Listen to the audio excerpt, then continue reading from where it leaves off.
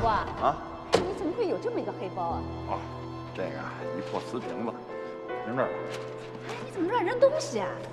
那个花瓶儿，你得给我拿回来。花瓶儿？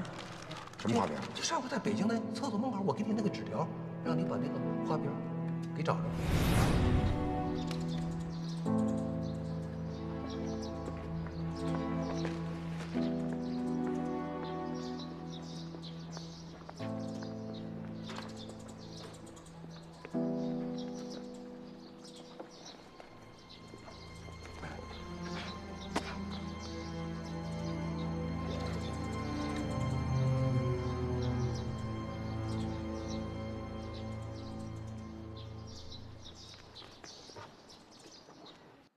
好好好好好好，好，就唱这个，就唱这个，挺好，挺好，挺好。好了，吃来饭了，来，吃饭了，休息了没有了？洗没洗手，哈哈老。婆呢？洗手了没有？老婆，嗯啊，赶紧老。婆，这小子气性这么大呀？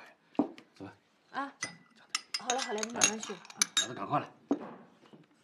好爷们儿，这么大的气性，我马上去，您别着急啊。好。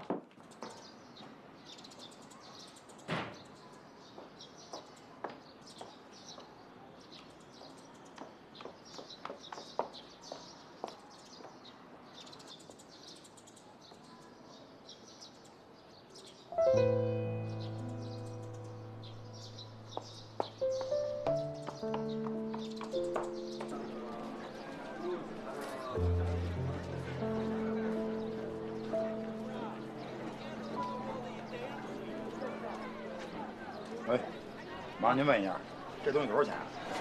怎么想要啊？啊，五万。这东西五万块钱，这么贵啊？这可是问你要了个开张价，这是宋代的青花瓷。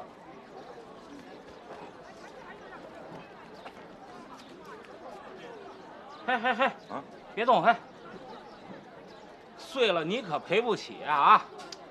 你不是开价五万了吗？碎了我赔你不就完了吗？哎，我这儿啊有一东西跟这差不多，你给看看，行吗？行，你算是找准了。我叫张一眼，什么意思啊？一眼准呐。不过，有句话说前面啊，先给我五十块钱的鉴定费。行，你让你看看，看好啊，我肯定给你五十块钱。行，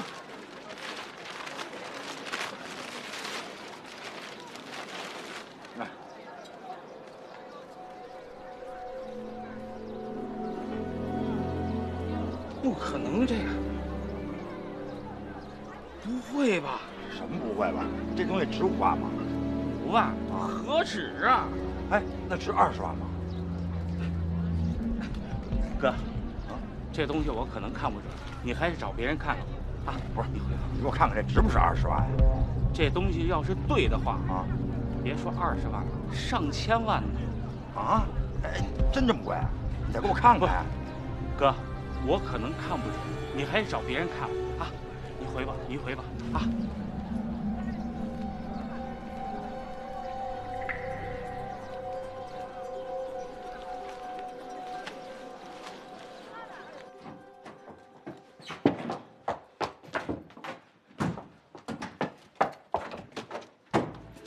这不是也没人在家等你吗？干嘛呀？干嘛那么着急回来呀？啊！哦，卢永福，可你闭嘴！有你这样的吗？我告诉你，咱们俩已经离婚了。好，那个时候你说了，你说不能跟你爸说离婚了，怕他伤心，好不告诉他。但是今天是你儿子生日，对不对？你还把生日给忘了，都没有关系。我就带着你们一大家子做了那么多的饭，怕你不说话你就走了。你干什么呀你？有你这样的吗？不是我这，我告诉你，凭什么凭？你凭什么这么做呀？我觉得我当初就瞎了眼了。我第一天认识你就没好事儿，好嘛？第一天认识你就把我们家怎么还想起这事儿来？这事儿怎么了？我告诉你，没完了是吧？我觉得我妈就是瞎了眼，还让我嫁给你，嫁给你，嫁给你，我干嘛要嫁给你啊？你想打架是不是？我这么倒霉啊？我你冷静点，行不行？你干嘛冷这个屁？你没行不你？治不了你了。放开我！放开你！放开我！让你冷静冷静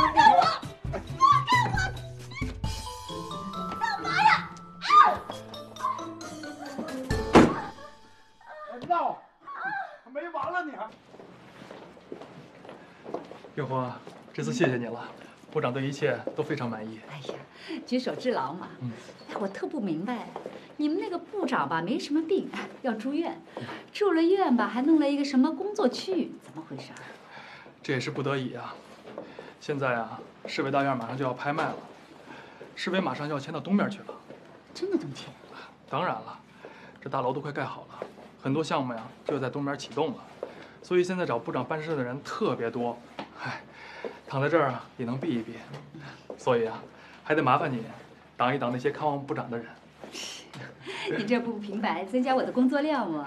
行，回头啊，给你审批个这个补助啥的。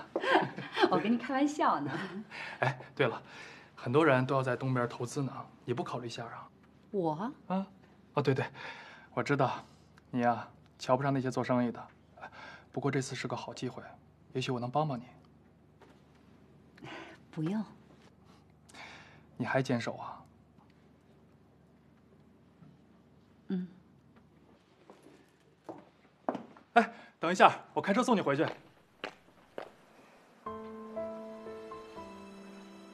我真希望有好多事情根本没有发生过就好。醒来就像做了一场梦，所有的痛苦都是梦。那要像你这么说的话，当初我爸过生日，我不给他做炮仗就好了，那样也不会把你们家的房子给点着了。那当初我要是不跟着张美丽去你们那个大院找那个什么李主任要求赔偿就好了，不会认识你。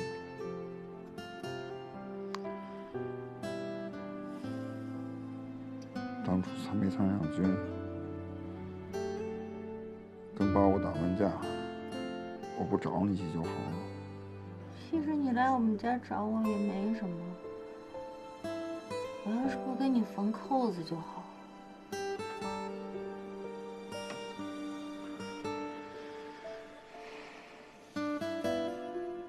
当初听你的，不跟魏宝华他们开公司就好了。那我当初要是不开精品店，跟你去开公司就好。